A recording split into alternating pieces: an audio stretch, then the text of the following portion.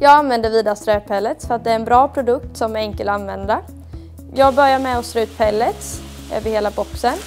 I en tom box går det åt ungefär 7 8 säckar.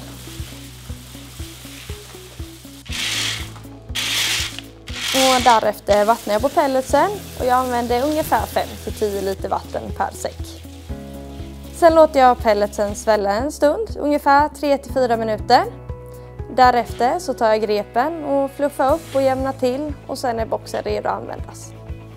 När jag väl har en box färdig med ströpellets så går det åt ungefär en säck i veckan för att fylla på med.